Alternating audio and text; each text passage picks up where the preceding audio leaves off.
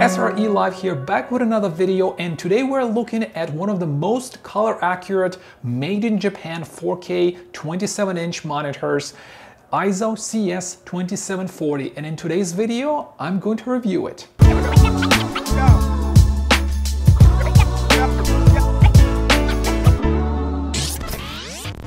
Now, the reason you might have not heard about Eizo is because it's a niche brand in Japan that we're making products for pros, specifically monitors, for decades. Their average prices are starting at 3000 5000 all the way to $10,000 and customers are Hollywood studios, expensive design studios, hospitals. So there's really nothing consumer grade about um, Eizo. And even the, their consumer models or lineup, it wasn't very popular in the United States or North America at all, or even in Europe. It wasn't like it just doesn't sell as much as Dell or HP or BenQ, most of those brands that people buy for day to day. And that brings us to the CS2740.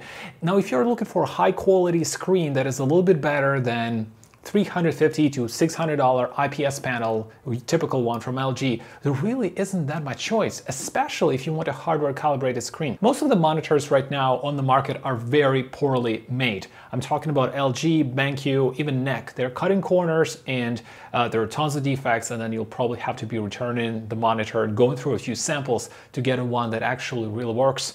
And then that's not talking about the calibration software. Well, not the case here. So what is the big deal with Eizo? Besides the fact that you're getting one of the most color accurate, wide gamut, hardware calibrated screens in the market, it is also built like a tank and assembled in Japan. It also has five years of warranty with real customer support. Okay, so first I'm gonna tell you more about the CS2740 and then I'll speak about the market alternatives so you get the idea, well, what choice you have. Okay, starting from the front, what's really cool about Eizo and the first thing that I've noticed is that the logo right at the top of the screen is completely faded out and you could barely see of course for professionals to focus on the image. That's a really nice little detail from Eizo. And bezels are extremely thin for Eizo. Previously, all their screens look like CRTs from the front, and now you only need to look at the back to see what's really going on.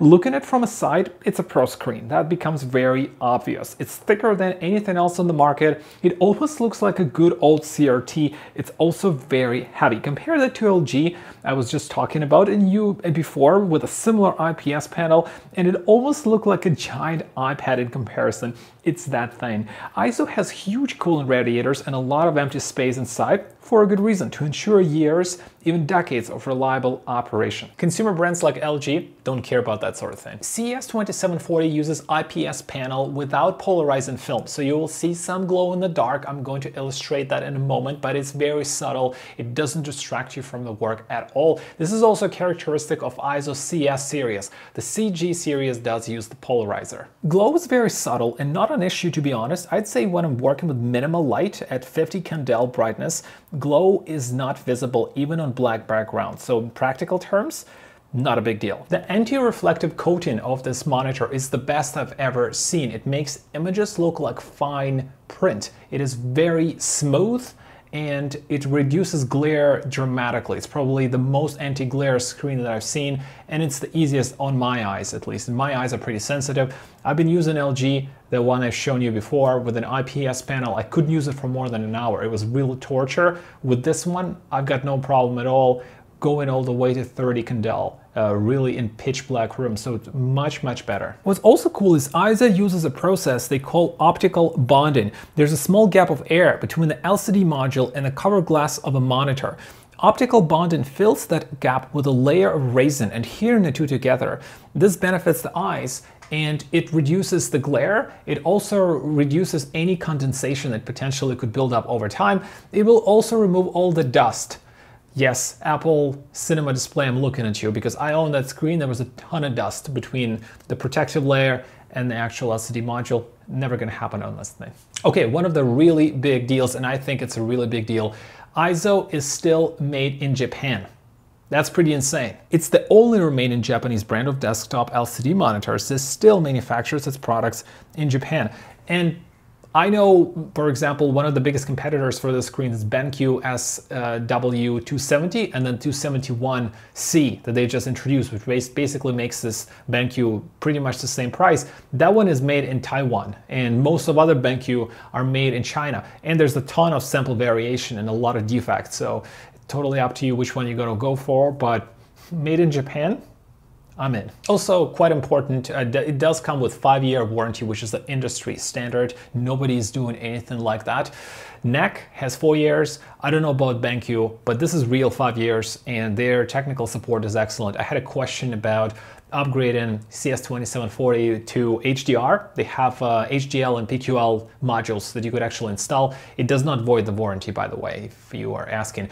And I've got connected with specialists right away, literally on the phone, and that lady was super knowledgeable. It happened in like two minutes.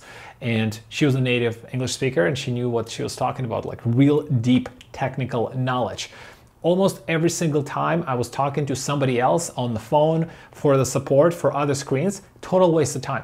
They're like, it doesn't exist, so forget about it. So this is pretty important. I'm sure Eizo puts in the money to have these people um, and um, that's what you're paying for. When you're paying that sort of money, you want the highest uniformity across the screen, corner to corner, and this one delivers totally. Like it's excellent overall. There, if you look at the black background in a completely dark room, the right side on to the bottom of the right corner is subtly a little bit more brighter, but it's very subtle. It's not a big deal at all. Color is incredibly homogeneous as well. You can see how the white looks. It's pure corner to corner. I'm sure Eizo built-in digital uniformity equalizer is doing its job too. And um, we are now at 160 candela. If we look at color accuracy, this is the kind of results you can get from Delta E perspective.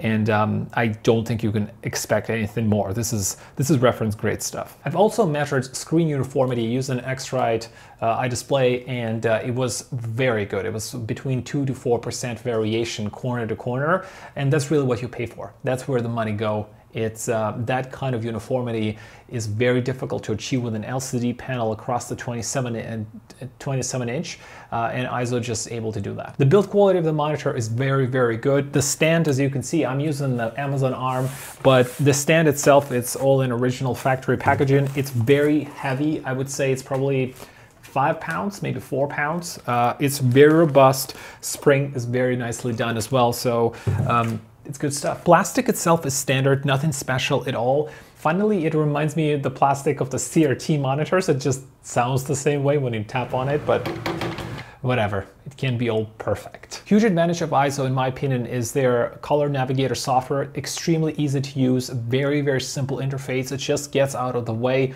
allows you to create any kinds of profile that you need, uh, and it's super easy to switch, obviously all hardware calibrated and it just works. One thing to note is do not buy the CS2740 with the calibrator from Eizo EX4. Um, it's That's what I did. It's a rebranded model of SpyderX. It's generally very good and much better than older Spyders, but iDisplay, here you can see it is much better. Specifically, it calibrates Eizo at a higher contrast, at least 80 to 100 to 1 higher and an average delta in color deviation is lower. If you calibrate Eizo to 50 candela, so like super low brightness, you will get half of the contrast with uh, the rebranded Spyder versus iDisplay. You would get about 700 to 1 on iDisplay uh, at 50 candela and you would get about 380, 350 on Spyder So the lower the brightness, the harder for the Spyder to really calibrate the, the darker colors, specifically black, dark gray, and dark blue.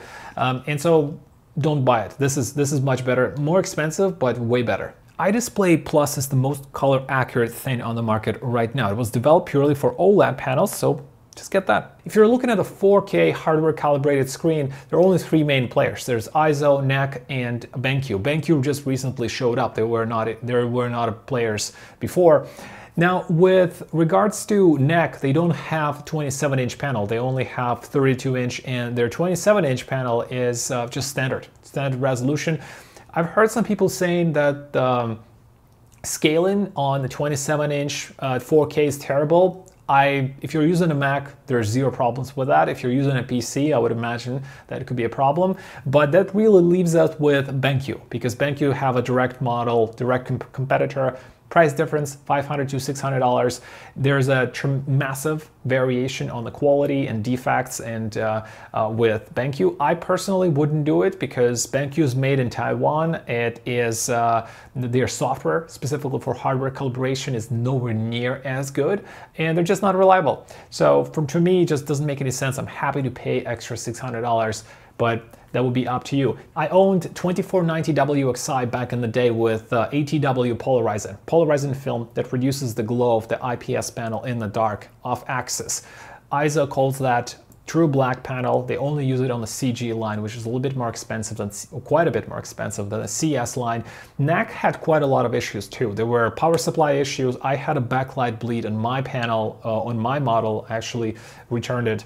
Um, so Uh, the only NEC I would consider right now is the 32 inch model that they have of PD, I think 311.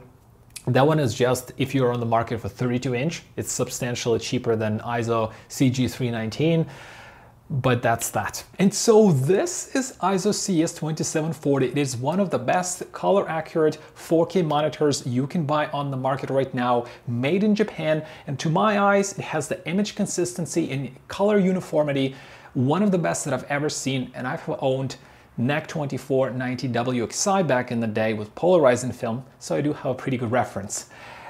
And now it's time for the scores. Image quality easy 10 out of 10. It's a reference grade monitor where you could be doing the most critical color work that you're working on. Panel uniformity 9 out of 10 is almost perfect. Very, very good. Build is 9 out of 10. It's built like a tank, will last for a long time as you guys have seen. Comfort is 10 out of 10. Very easy on your eyes with one of the best anti-glare coatings that I have seen in any other screen. Practicality 7 out of 10. It's a super heavy monitor very heavy stand. Reliability is 10 out of 10. It's probably will last for a very long time. It has five years of warranty and very strong reputation from Eizo. And overall value comes down to 9 out of 10. Even though it's priced higher than competitors, it does have the image quality. It's made in Japan. It has the uniformity that just is not matched by any other screen on the market today. Highly recommend it. Thank you guys for watching. I hope you enjoyed this review. Leave a comment what you thought about one of the last made in Japan brands and specifically Eizo CS2740. Consider subscribing to the channel for more reviews like that. And I'll see you in the next one. Peace.